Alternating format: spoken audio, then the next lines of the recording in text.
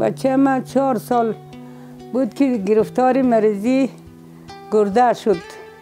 توسط امزی شفاخانه خاتم النبیین همه دفعه سیوم بود که ما نشر تلویزیون شدیم برنامه اکثریت خاموش.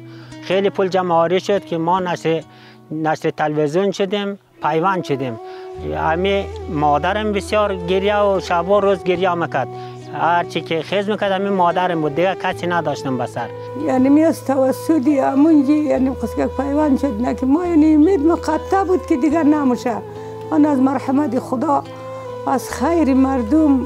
انا اگر پول جمع شد یعنی یالا که مهربانی خدا یعنی مینگرید یعنی غلیمه خوبه.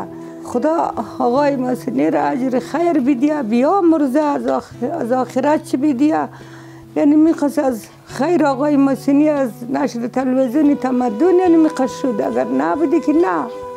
در شفخانه همش چی در دیالس چی در پیوان چی در بایدوا بیست یک لگ مصرف کده. چهار سال شد کم که نشد.